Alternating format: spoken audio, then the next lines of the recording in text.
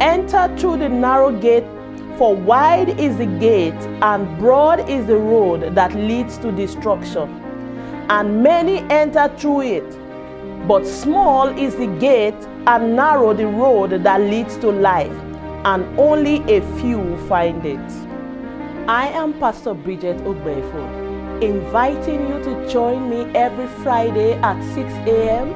on the Tobago Inspirational Network for Gateway to Life, where we explore the Word of God through the help of the Spirit of God. I bring you greetings in the mighty name of our Lord Jesus Christ. I am Pastor Bridgette Ogbeifun, and this is Gateway to Life on TIN. And I'm trusting God for an awesome time in His presence, even with His words dished out to us through the Spirit of God. I want us to pray wherever you are. Just join me as we pray. Father, in the name of Jesus, I thank you for this beautiful day that you have made that I'm so glad to be part of. Thank you for as many as are watching me right now, hearing the sound of my voice, because you have allowed us all to be amongst the living, to be in the land of the living this morning, this afternoon, this night, wherever, whatever time it may be that all these people watching may be watching from. Father, I give you thanks and I say thank you for not allowing the wish of the enemy to prevail over our lives in the mighty name of Jesus. Thank you for your word that is coming forth at this moment. Sweet Holy Spirit, I ask that you will have your way. You will take charge. You will do what you alone can do in the mighty name of Jesus. Thank you for Tobago Inspirational Network for what you are doing with this awesome establishment, for what you are doing through them, for what you are doing with them. Father, I ask, oh God, that you will continue to herald the gospel through this awesome set of people in the mighty name of Jesus. That no weapon formed fashioned against them shall prosper in the mighty name of Jesus. Above all, this word that is about to go out, that it will touch a life, it will set a soul free, it will open people's eyes in the mighty name of Jesus. Thank you, Father. In Jesus' mighty name, I've prayed. Amen. Again, you are welcome to Gateway to Life. And so this morning, we want to, by the grace of God, conclude what we started last week, I believe, that was titled Beware of Wolves. Beware of wolves. I want us to quickly look at the scripture again. We took our main scriptures from Matthew chapter 7 from verse 15 and I want to read it again. Look at what the Bible says in Matthew chapter 7 and verse 15. That's Matthew chapter 7 and verse 15. It says, Beware of false prophets which come to you in sheep's clothing, but inwardly they are ravening wolves. Ye shall know them by their fruit. Do men gather grapes of thorns or figs of thistles? Even so, every good tree bringeth forth good fruit but a corrupt tree bringeth forth evil fruit. A good tree cannot bring forth evil fruit, neither can a corrupt tree bring forth good fruit. Every tree that bringeth not forth good fruit is hewn down and cast into the fire. Wherefore, by their fruits ye shall know them. Not everyone that saith unto me, Lord, Lord, shall enter into the kingdom of heaven, but he that doeth the will of my Father which is in heaven. Look at verse 22. Many will say to me in that day, Lord, Lord, have we not prophesied in thy name, and in thy name cast out devils, and in thy name done many wonderful works? And then will I profess unto them, I never knew you. Depart from me, ye that walk iniquity. Therefore, whosoever heareth these sayings of mine and doeth them, I will liken him unto a wise man which built his house upon a rock. And the rain descended, and the floods came, and the winds blew and beat upon the house, and it fell not, for it was founded upon a rock.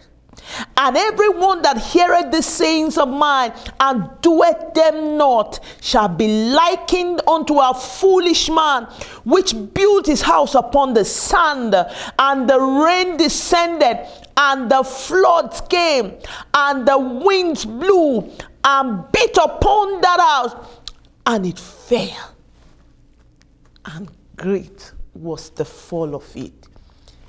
Beware of wolves. And as I was just reading through these scriptures now, something dropped in my spirit. Did you notice that the man that built his house upon the rock was exposed to the same conditions as the man that built his house on the sand? The man that built his house on the rock, the Bible says, the rain came, the flood came, and the wind blew, and the house did not move. There was no consideration for the man that built his house on the sand. They'll say, Well, you know, his house is on the sand, so you know, don't, don't let the rain come. Well, you could allow a little wind blow, you know, because the same condition. What does that tell you? Ignorance is not an excuse. Your unpreparedness is not an excuse.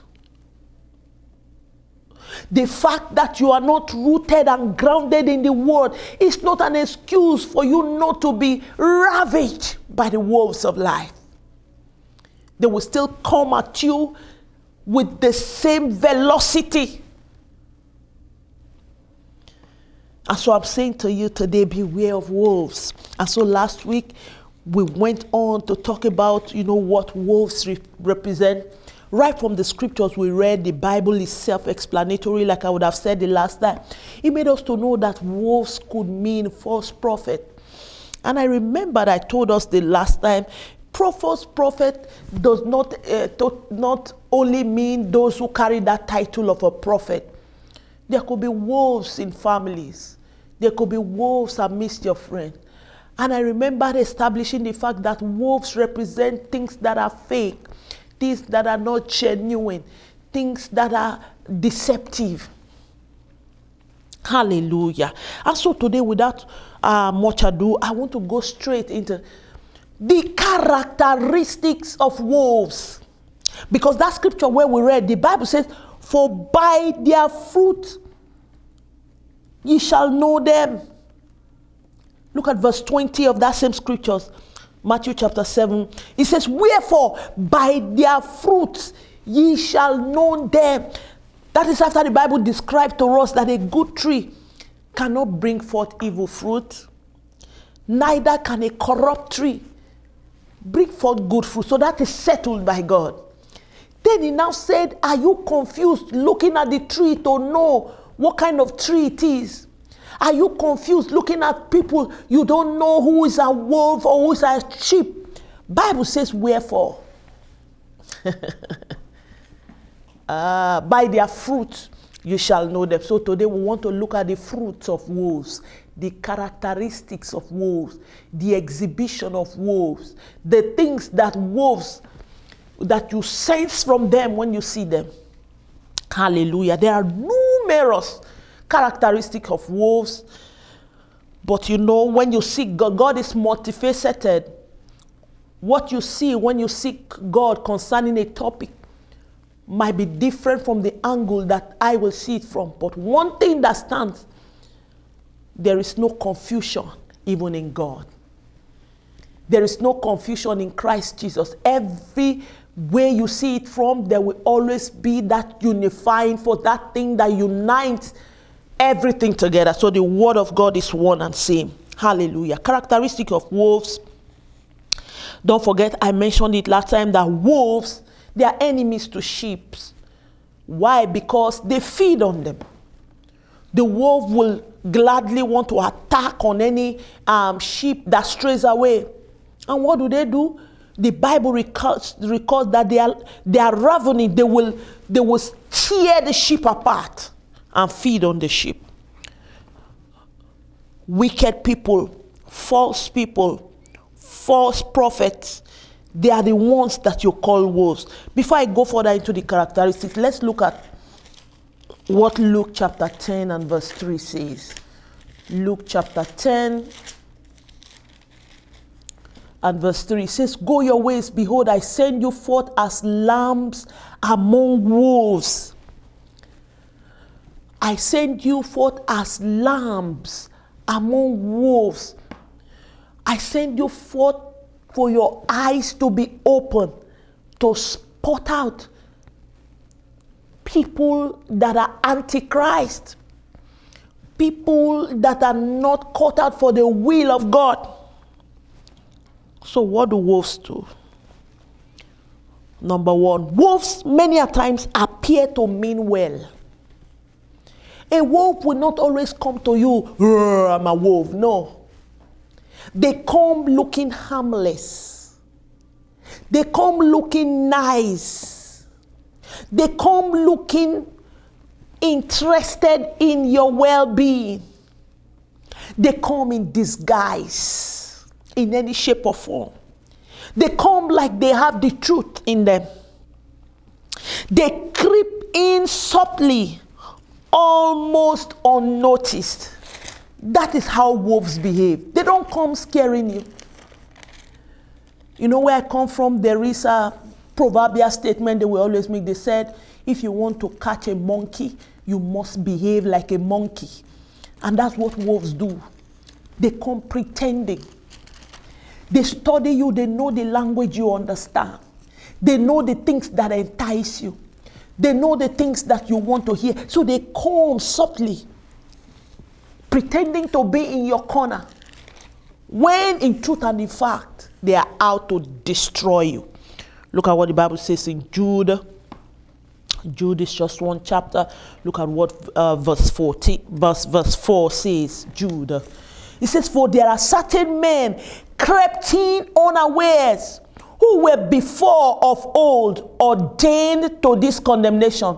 Ungodly men turning the grace of God into lasciviousness and denying the only Lord God and our Lord Jesus Christ. The Bible says that they creep in unawares.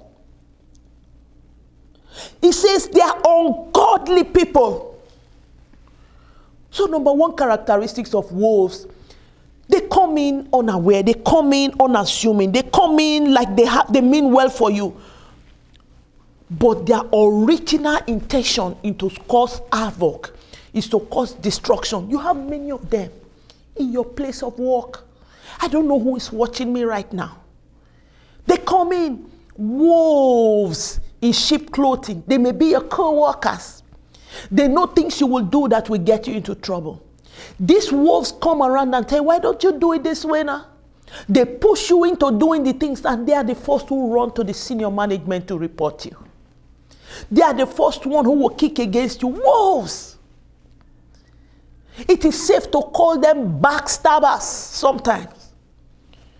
So characteristic of wolves, good percentage of the time, they don't come out showing themselves as wolves. In other words, they would have entered into you, perpetuated their evil before you recognize that they actually came in to cause destruction.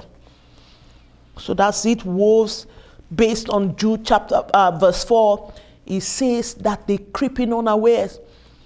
And it says they are ungodly men. It says they turn the grace of God into lasciviousness and deny God in their actions and in their words. Number two, wolves, they conceal their original agenda until they have gotten a hold of you.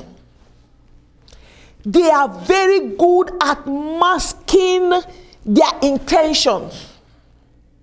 They are very good at masking, you know, they, they are very good at masking their, their, their plans. We read of a story in the Bible. ah, the story of Haman. Hallelujah. But time will not permit us to go into that. Haman didn't know that the intention was to celebrate a Mordecai. He thought it was he. When they came to me and they, they, to him, they, cast, they, they asked him a question. They said, What do you think the king should do to the man that he so, you know, desires to honor? And Haman, he began to project all these things. I will put my robe on that man. I'm paraphrasing. I will put my ring on his finger. I will do this and I will do because he thought it was him that was going to be celebrated. But little did he know it was not him. And when he knew, what did he do? Go and read up the story for yourself. So they conceal their original agenda until they have gotten hold of you. Let's see what Second Peter chapter 2 says. Hallelujah. Second Peter chapter 2, we're talking about the characteristics of wolves. Second Peter chapter 2 from verse 1 to 3. But there was false prophets. That's what the scripture says. Second Peter chapter 2, I am reading from verse 1. But there were false prophets also among the people, even as there shall be false teachers among you, who privily shall even, I'll take that again. But there were false prophets also among the people, even as there shall be false teachers among you, who privily shall bring in damnable heresies even denying the Lord that brought them and bring upon themselves swift destruction. I'm not stopping there. Look at verse 2. And many shall follow their pernicious way, and by reason of whom the way of truth shall be evil spoken of. Hallelujah. Look at verse 3. And through covetousness shall they with feigned words make merchandise of you, whose judgment now of a long time lingereth not, and their damnation slumbereth not. False prophets. We live in a generation where people have itchy ears. Oh, they want to see the prophecies Oh, they want to see people who will look at them and tell them their future. oh, they want to see that man that will tell them what happened to their forefathers and their grandfathers gone by. They want to see actions. And because of this desperation, the Bible says that you will fall into the hands of this man who will make merchandise out of you. We live in a generation now where people charge people for money to pray for them, where people charge people to pay money for them to prophesy on them. False prophets, wolves in cheap clothing. So they conceal their original agenda they will draw you close with sweet words. Let me tell you something that these wolves, they understand the language of the sheep. In other words, they are grounded in the word of God. They are smooth talkers. They know how to preach the gospel as well. And so they get you into their corner until you become very comfortable and then they strike. So, number two characteristic, they conceal their original agenda until they have gotten hold of you. And then there's a word that stands out there in that scripture. The Bible says, and many shall follow their pernicious way. Pernicious means having harmful effect in a gradual and subtle way. Remember, I told you from the beginning, one of the characteristics of wolves, they don't just attack. They come in looking harmless. These false people we are talking about, they come like they have your interest at heart. And their destruction is always gradual. I know of people here who met people on the line, preachers. Don't get me wrong, I'm not saying it's not right. I get blessed by a lot of vessels of God online whom I've never met in person. So don't get me wrong. But I know people here who met people online in the name of prayer, and before you know it, they are sending doles of dollars to them. Why? Because it is demanded from them. And you know, these people are very difficult to convince, to let them know, look, this is not the right thing to do. But because these wolves have grabbed them into their corner, they have deceived them into a place where they become comfortable, they fall flat. And these wolves, as described by the scriptures, become ravenous and begin to feed on them. Hallelujah. We are talking about the characteristics of wolves. Number three, they most times have a large crowd believing and following them, which makes it easy for people to fall prey. These wolves that are deceptive, that the Bible describes in Jude, Jude chapter 4, that we, uh, Jude verse 4 that we read, and this second Peter chapter 2 that we read, they have large crowd following them. They have people who believe in them. They have people who can see no wrong in what they do. And so it's easy for innocent sheep to fall prey and to follow them and say he or she must be speaking the truth. That is why people are following it. Don't get me wrong again. I am not saying large following connotes being a fake prophet. I'm just telling you the characteristics, some of the things you will see in these people called wolves. Another characteristics, they appear to know God but are actually far from God. They appear to be grounded, but they are actually without roots. You know, I don't see much of it in this part of the world, but the part of the world where I come from, there are some rivers or ponds that you will see. You will see plants growing on top of water. Plants. They will be growing on top of water. It look like they have roots. It look that they are stable, but you know what? When anything passes in that direction, maybe a cane or something passes in that direction, you will see all the plants floating away. Though they look like real plants, but they have no roots. I can't find the name for those plants right now, but they grow on top of water. They are restless. They are without taproot. They are without stability. So when anything comes, you see them floating all over the place. But when you are looking at them from afar, they look like they are rooted. It looks deceptive. So these wolves, they appear to know God. But they actually are far from God. Let's see what the Bible says in Second Timothy chapter 3. Hallelujah. We are talking about the characteristics of wolves. Look at chapter 3 of Second Timothy. Hallelujah. Chapter 3 of Second Timothy. Glory to God. Hallelujah. Look at what the Bible says from verse 5. Glory to God. It says,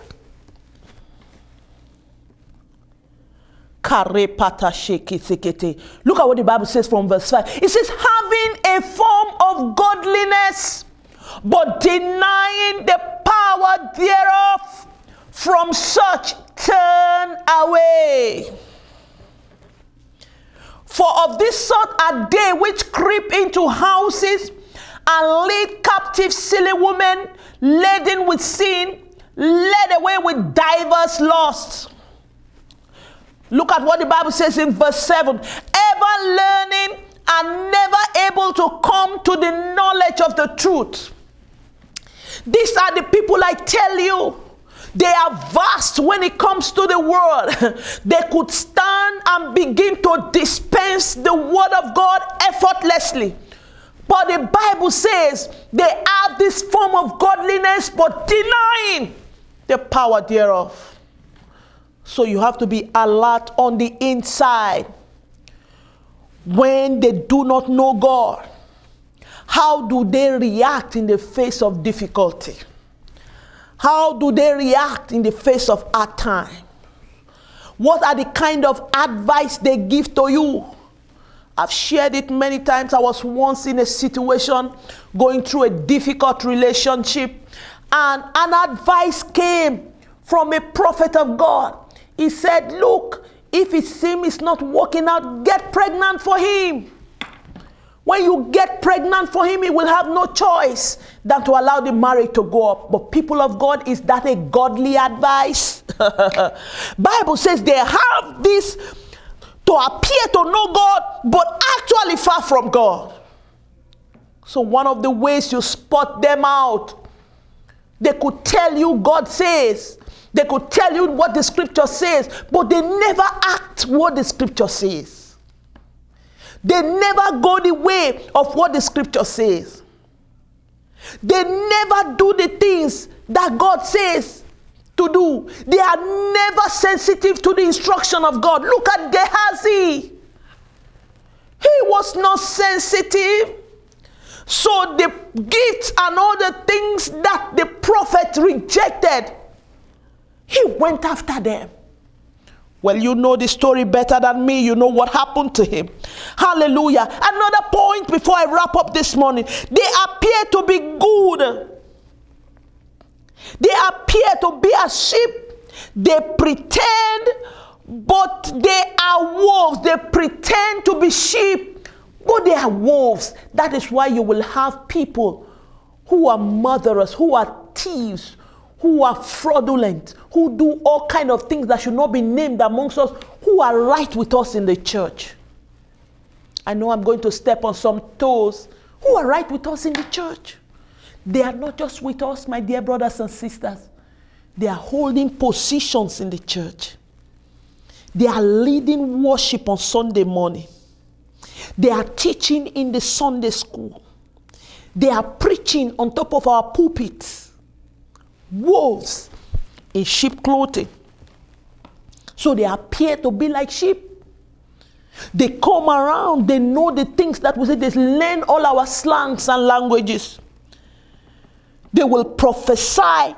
A lot will even testify of their dead. A lot people will, will testify of their genuineness. They will come to give testimonies. Oh, so and so person prayed for me and I got healed instantly.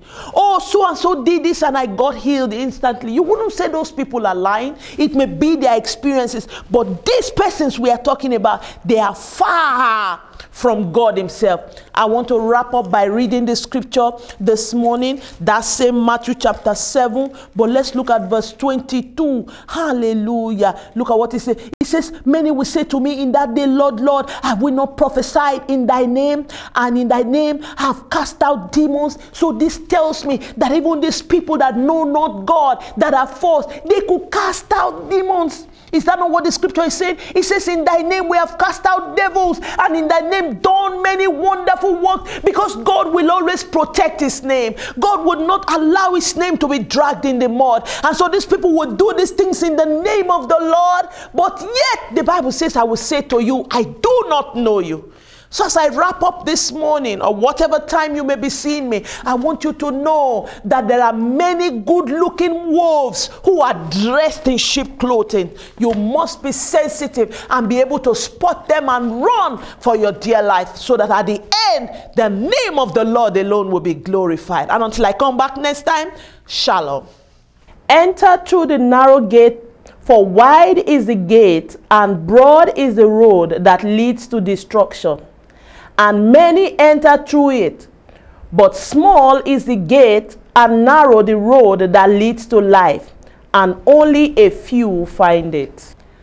I am Pastor Bridgette Ogbeifun, inviting you to join me every Friday at 6 a.m. on the Tobago Inspirational Network for Gateway to Life, where we explore the Word of God through the help of the Spirit of God.